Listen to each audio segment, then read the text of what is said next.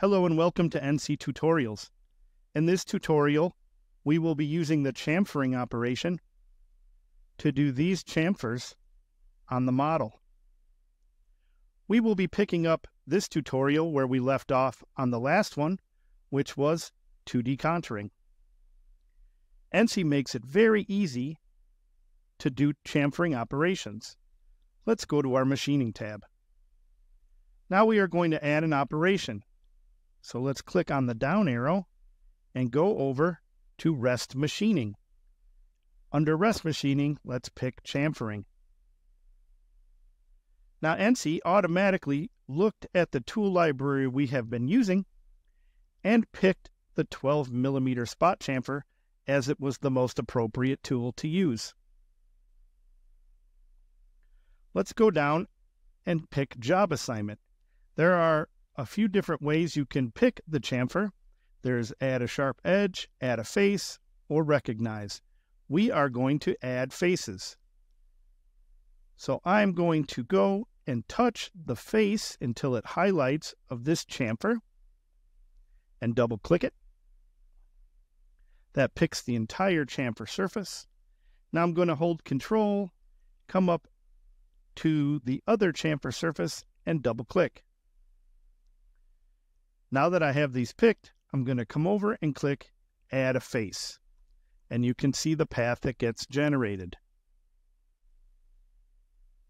Now I'm going to go down to my speeds and feeds, even though when we made this tool back in the tool library tutorial, we gave it a speed and feed preference. That was more for spotting than for chamfering. So we are going to increase our 400 millimeters a minute to 1500 millimeters a minute.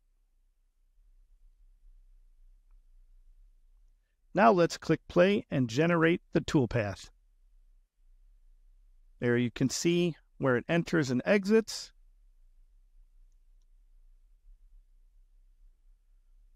Let's go ahead and check out the simulation.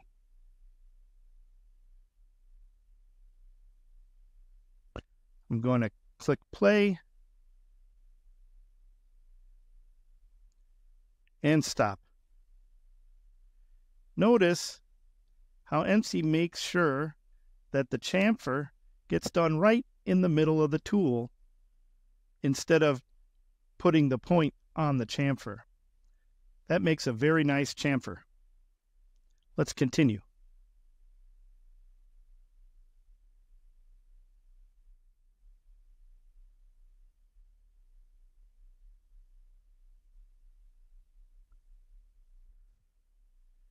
Now that sure was easy. Now let's say there is an area on the model that you wish to chamfer that is not part of the actual 3D model. Let's go back to our machining tab. I'm going to select this edge by double clicking on it, holding control, and then selecting that edge by double clicking on it and I'm going to come over to job assignment and click add a sharp edge. Now I'm going to regenerate the toolpath and go into our simulation and see how that looks. Now you will see there is a red check mark on this operation because the model does not have chamfers in that area, ENCY is going to interpret that you're hurting your model. And if you hurt your model during a machining operation, you will get a red check mark. However, we know that we are asking it to do this, so let's hit play and see what we get.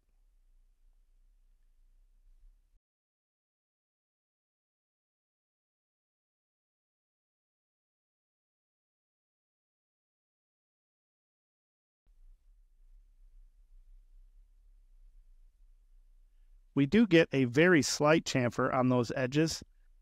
Let's see if we can increase the amount of chamfer.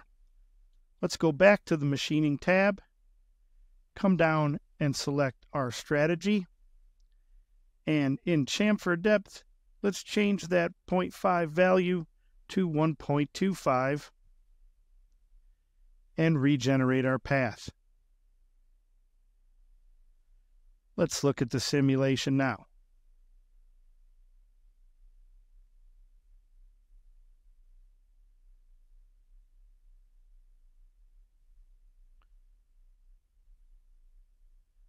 That does look like a much nicer sized chamfer. So this tutorial has been using the chamfering operation to chamfer this model. Our next tutorial will be on generating text and engraving it. Remember, all the 3D models used in these tutorials will be available in a link in the description.